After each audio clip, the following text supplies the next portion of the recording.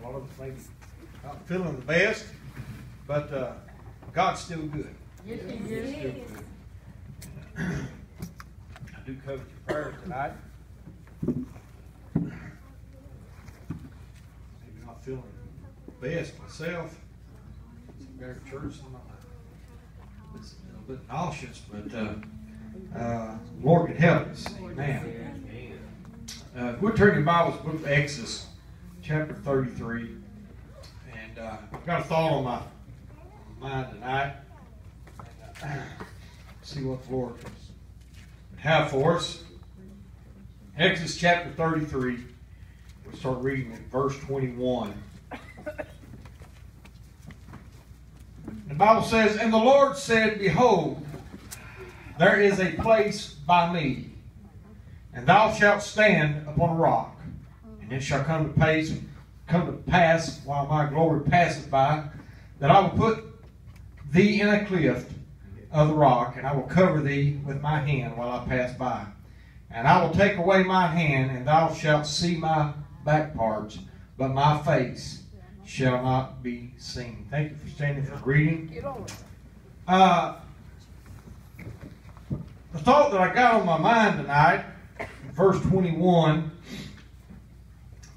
the Lord said, Behold, there is a place by me. Come on. And uh, I thought uh, there is a place that we can be tonight Come on. with the Lord. Right. Yes. Uh, there is a place by Him, a place that, if you would, that is ordered by Him, Right. uh, that we can be.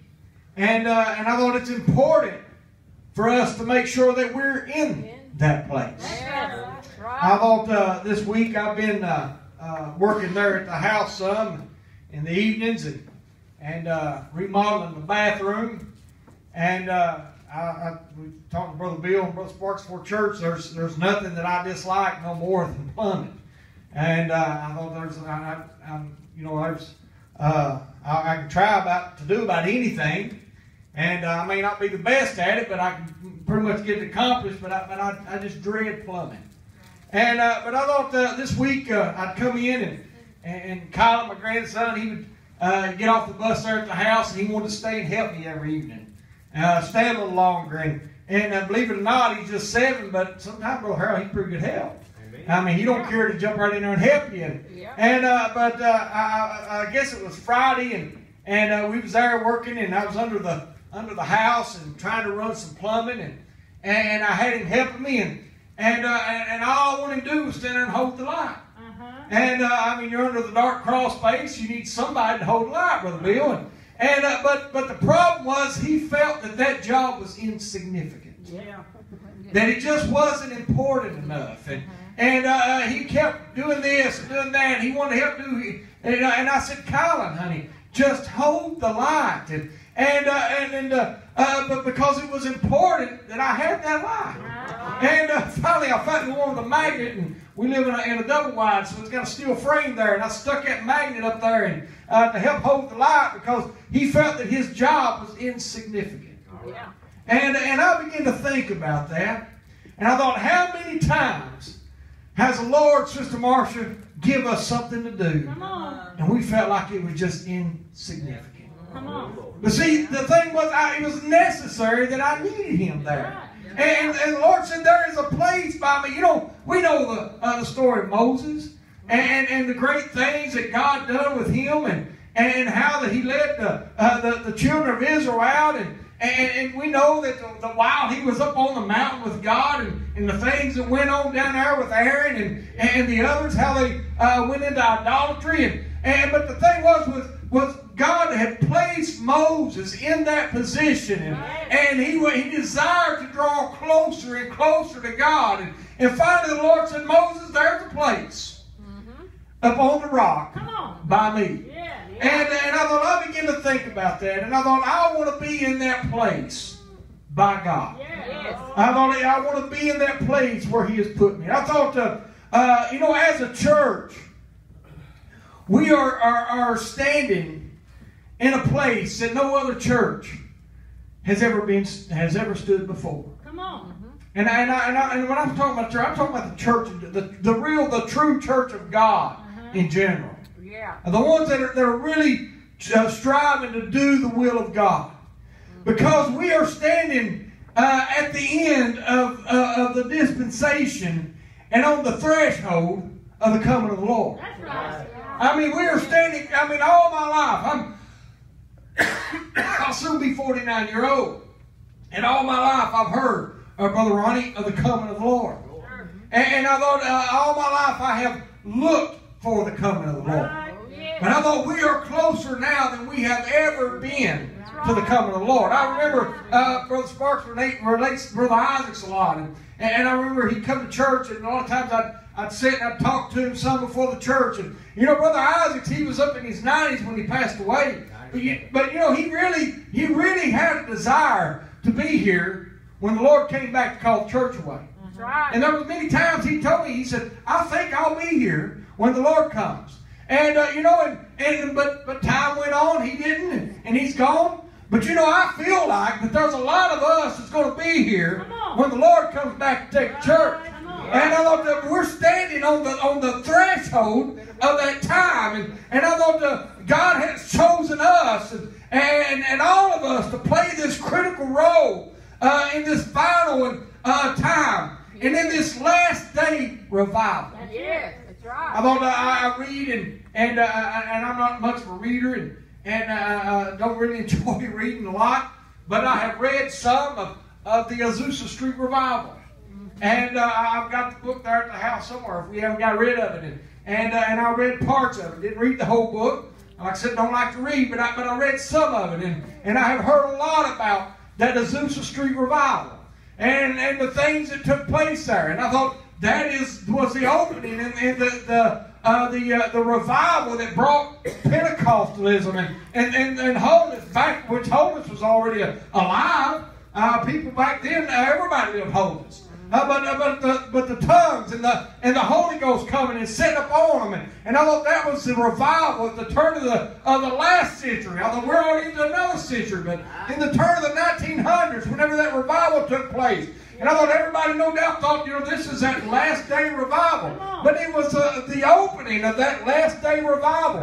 I thought we we have a uh, we, we've uh, another whole hundred years that went by, and I thought now we're over in uh, rolled over in, in 2020. And I thought we still were looking forward to the Lord coming back. And I thought we are in that last day.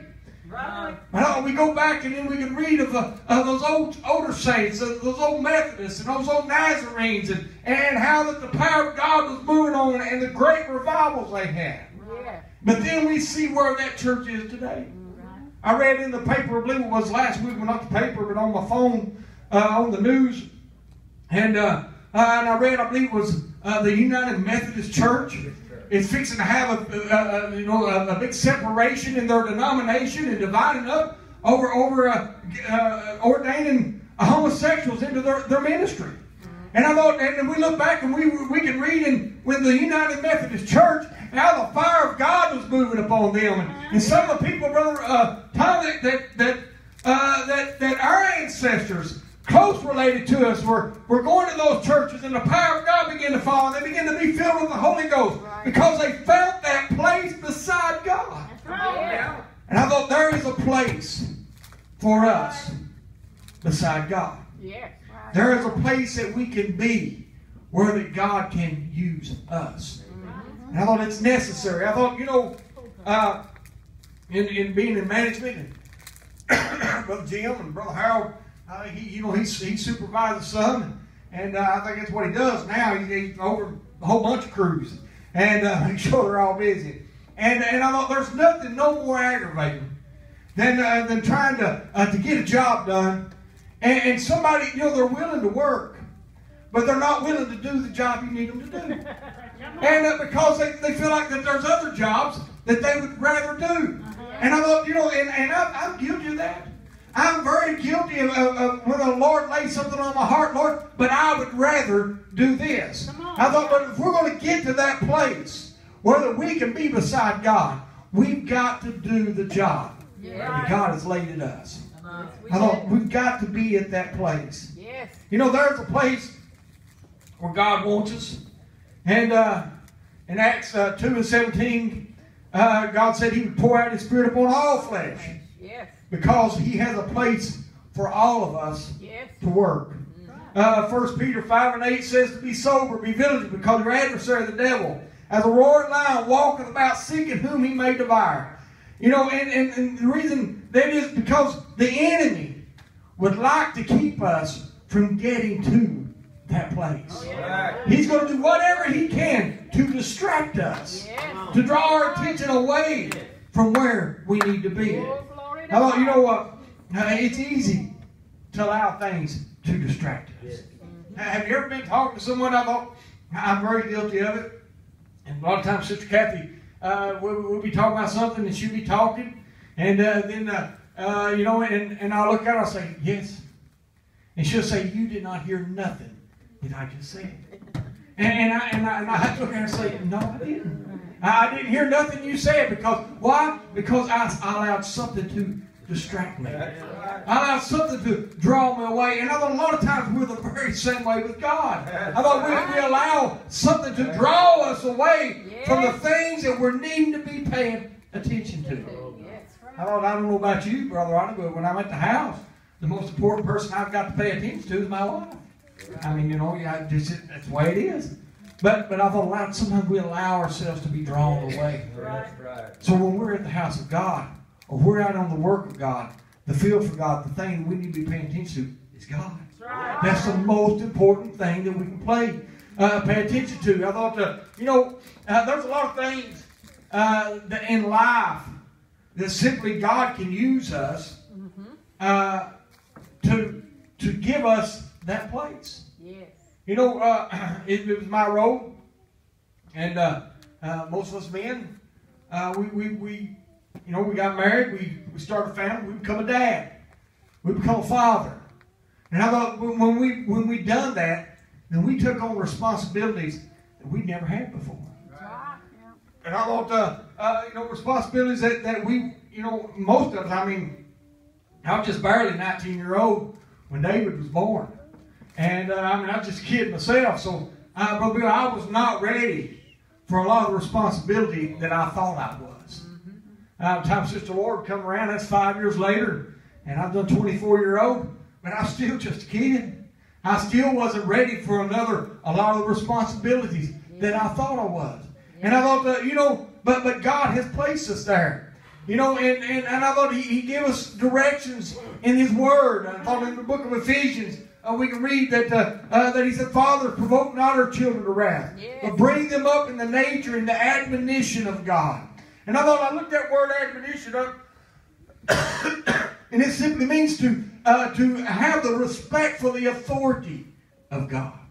Right. And I thought uh, when you have the respect for the authority of God, then there's that chain of command That's right. that we're to have respect for.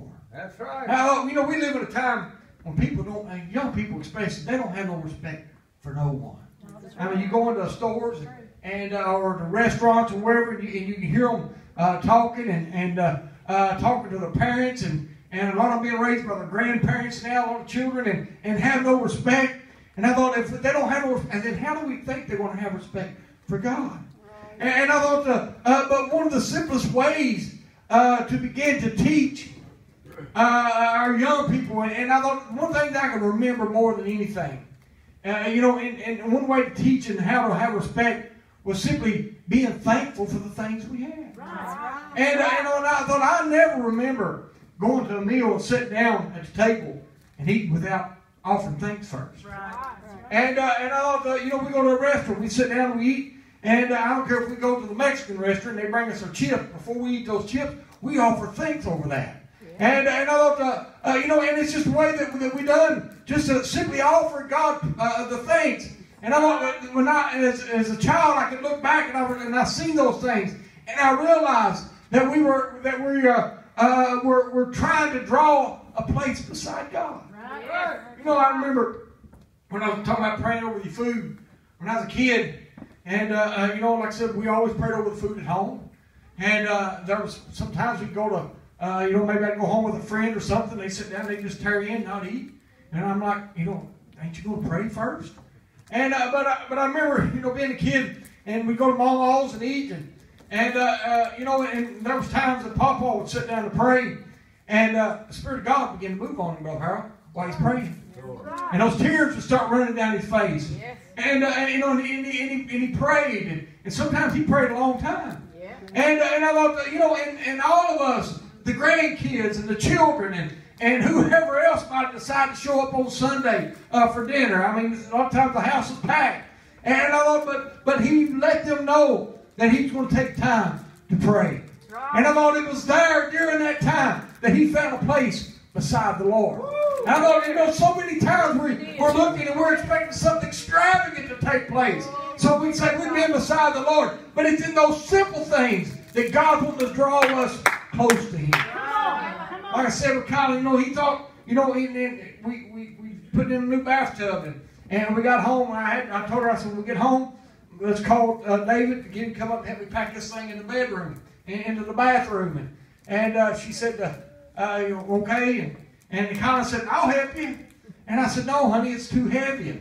And, Sister Kathy said, no, I tried to pack it. It was too heavy for me. And he said, you know, he just determined he was going to pack that thing because he wanted to do something that, that he felt like was, was really getting something accomplished.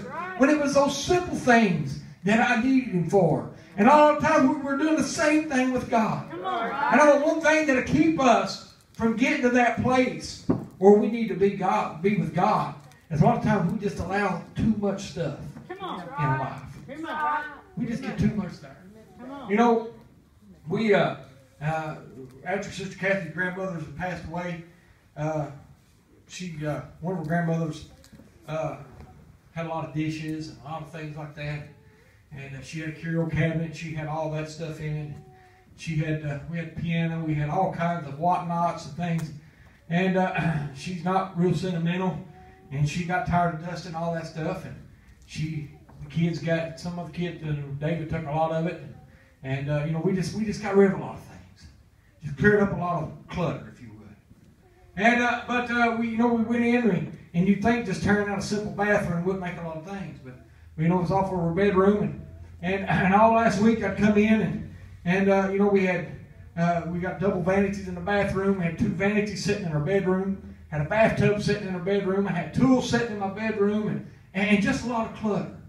You know, Brother Ronnie, I'd come in and, and I and I you know I was home, but I just wasn't comfortable Right. because I'm not used to all that clutter. Come on. And and I thought a lot of times we uh, you know and, and I'd come in and, and we'd go to work and and I thought uh, I believe it was Thursday when I came in and I was trying to lay some tile down and trying to cut the tile. and I couldn't keep up with my pencil because I had all this stuff scattered around and, and my pencil got I don't and finally I found it it got rolled underneath another piece of tile and, and but I but I but I found myself getting aggravated and agitated because I, I couldn't keep my stuff together because of all this clutter. Right. And I thought I couldn't get nothing accomplished because of all the clutter. Come on. And finally I got up and I told her, I said, I've got to clear some of this stuff out of the way so I can get this get this accomplished. And we had to move some stuff around. And I thought sometimes it's what we've got to do with God. In order to get to where He needs us to be, I thought we've got to get rid of some stuff. That's. Clear out some clutter. Yes. I thought after we got everything put together yesterday, and uh, uh, you know, and it's, it wasn't as rainy and stuff as they thought it was going to be, and and, uh, and, I, and I'd like to be outside doing some things, but I, but I was tired of the clutter, and I said, let's get this house cleaned up, and, and we started in one room and just started working our way through the house and getting the dust out, and getting the clutter out, and getting all the tools picked up, getting everything moved out of the way, because I wanted that comfort back that I was used to, and get rid of the clutter. And I thought we've got to get rid of the things in our life that's keeping us from getting where we need to be with God. Oh, we need to be comfortable working in the field for God. Come on. Yes. And I thought uh, we've got to be willing to do. You know, and I thought, uh, you know, uh, and I said that about, you know, uh, the dads, but I thought even even the sisters. There, there's a there's a place in the home where they can draw, and, and there's a place beside God Right. for them to work. And I, and I realize some sisters work outside the house, and, and, and you know that that's necessary. And I thought, but but even then, as a mother, they're still there. there there's that there's that guidance that God instilled in them, uh, that that to, to teach and, and to draw those children close to God. And I thought it- it's ordained by God. Yeah. Like I said, uh, uh, you go back to the book of Joel.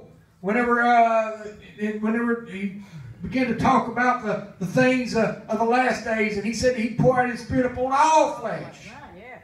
And then he began to talk about the sons and daughters would prophesy, and the old men would dream dreams, and, and the young men would see visions, and, Yeah. and that, that he'd even pour his spirit out upon the handmaidens. I mean, he gave a list of everybody to make sure that everybody understood that there is a work for everybody Yes. to do to draw close to God.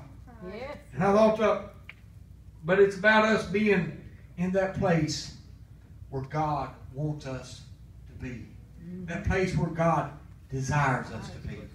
You know, uh, uh, Moses got in that place where God told him to be, and he just wasn't in a place of on the sand, Right. or he didn't tell him to go down into the, the raging water, and, and there's a place for me, for you, or he didn't tell you to go down into the mire, but he said there's a place on the rock, On the Right. rock. on the rock. A place that's sturdy, a Yes. place that's steadfast, Yes. a place that's unmovable.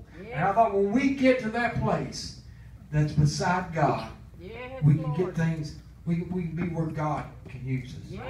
I thought, uh, you know, Moses couldn't look upon the face of God, but he got to, when he got in that place, he got to look out and see the hinder parts of the Lord as he began to walk away. Oh, yeah. And I thought, I don't know about you, but I want to feel the presence of God. Oh, And I thought it's in that place that we can feel His Spirit. Lord. He said, There is a place beside me. Mhm. And I thought, are we in that place Oh, that God wants us to be tonight? I thought, are we in that place where God can use us?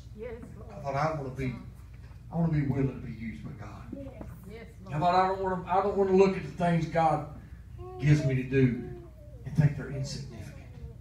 Think they're not of no importance. Come on. Because anything God has for us to do is important. I remember several years ago, a long time ago, and uh, just a just a kid, and uh, unfortunately, you know, when we get into teenage years, maybe we allow things to draw us away from God.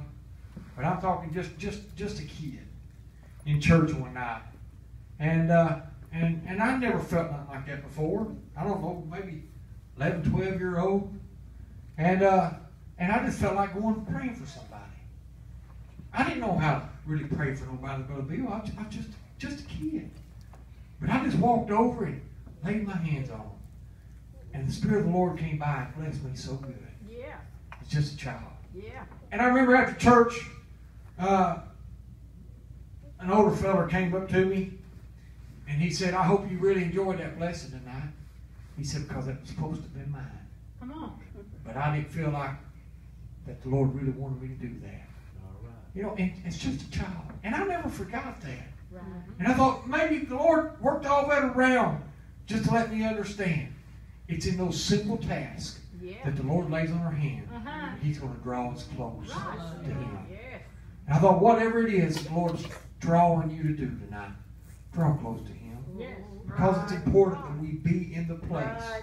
that God wants us to be Yeah. so that He can use us for the job that He needs. Yes. And I thought it's important that we be where God wants us to be. As they come against a song tonight, I hope I've helped you. But I thought, let's be in that place Yes. that God has specifically for us. As they get us a song tonight, let's come this altar and pray. Praise the Lord. Thank you, Jesus. Thank you, Lord. Thank you, Lord. Thank you, Jesus. Thank you, Jesus. Thank you. Glory to God.